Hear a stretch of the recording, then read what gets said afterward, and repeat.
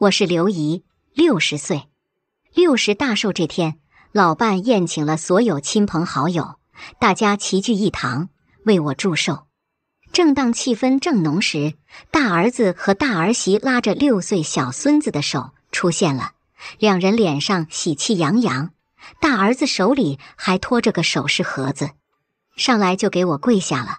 儿子祝老妈身体健康，年年有今日，岁岁有今朝。说着，把手里的盒子打开，妈。这是我特意给您选的翡翠玉如意，戴着对您身体好。大儿媳在一旁酸溜溜开口：“妈，您就赶紧戴上吧。”我也想买一个，她都舍不得。看来还是妈妈最亲。一听他这话，老伴脸上的笑没了，立刻阴沉着脸，养了他一辈子，给老妈买个礼物还说三道四的。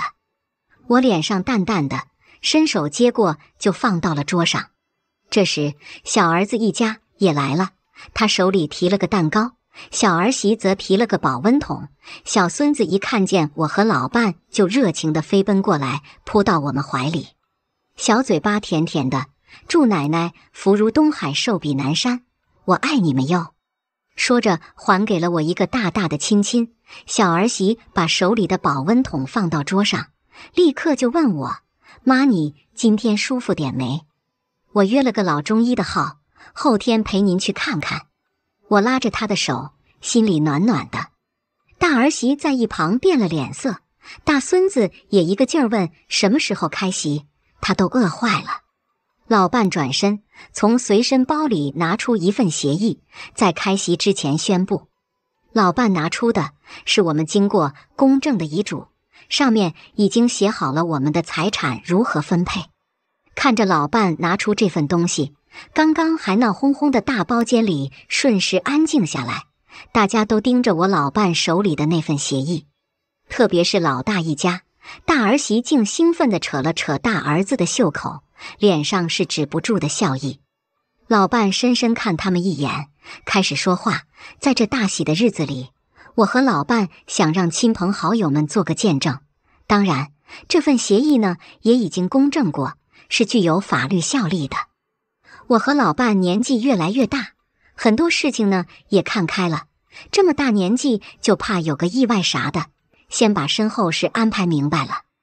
我们手里现在还有二百万存款，留一百万养老，剩余的一百万给小儿子李辉。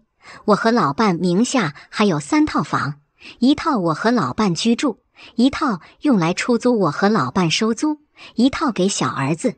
我们死后，剩余那两套也都是小儿子的。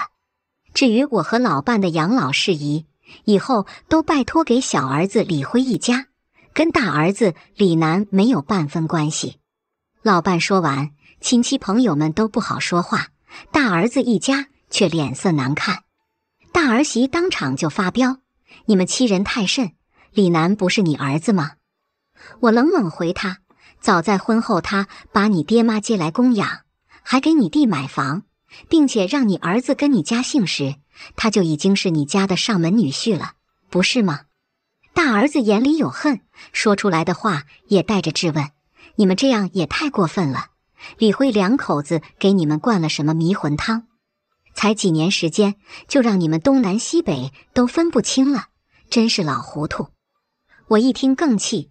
李辉两口子给我们灌的都是一日三餐家常便饭，但日复一日，年复一年，从你不管我们开始，六年如一日的对我们老两口好，这是所有亲戚朋友都看在眼里的。糊涂的人是你才对。今天是我的六十大寿，你们是我家的客人，喜欢可以留下吃个便饭，不喜欢可以走了。我把他刚刚送我的翡翠玉如意丢给他。你媳妇不是喜欢吗？拿走，我不需要。他两口子还想再闹，被其他亲戚连劝带拖地，请出了包间。世界终于清静了。大儿子李楠，早在六年前我就对他死了心。我家两个孩子仅相差一岁，两人差不多时间谈的女朋友，也是差不多时间议的亲。大儿媳当时是各种作妖。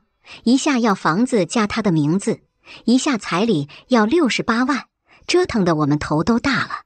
相比小儿媳一家，通情达理，做事也干脆。父母都是高中老师，有文化更有涵养，彩礼就照当地标准给了十八点八万，没有多要一分。房子由我家出，没有要求加名字。结婚后，他父母又给了他十八点八万带着来，一共三十多万存作他的私房钱。所以小儿子的婚礼都结束了，我们和大儿子的岳父母还是没谈拢。对于房子，我是无所谓的。我家是拆迁户，别的不多，就是房子多。他要加名字也可以，但彩礼要的太多了。我不想厚此薄彼，想跟小儿媳一样，给十八点八万。可大儿媳一家死活不同意，所以一直僵着。最后还是她怀了孩子才妥协，房子加了她的名字，彩礼给了十八点八万，她全部留给在了娘家，一分都没带来。这些我都不管，只要他们能把日子过好就行。但我不知道，大儿媳实在太能作妖了，大儿子又是个耙耳朵。刚结婚，他就说她怀孕需要人照顾，把他爸妈接了来，住到了他们家。从此，我和老伴去一次就要挨他妈的一顿呲。看看你家多有福气，娶了媳妇还附送个保姆。我们在这就是天天做牛做马。伺候他们小两口啊！当我提出他可以回去，由我来照顾时，他又说他姑娘脾气不好，怕跟我起矛盾。就这样，一直到生了孩子，大儿子岳父岳母一直住他家。更过分的是，他们生了个儿子，孩子竟然随了大媳妇的姓。我和老伴是最重视这些的，正面提出来我家是娶媳妇，不是上门，孩子的姓必须改回来。可儿子还和我们闹，说姓什么都是他儿子，跟我们没关系。好吧，既然你说没关系，那就没关系吧。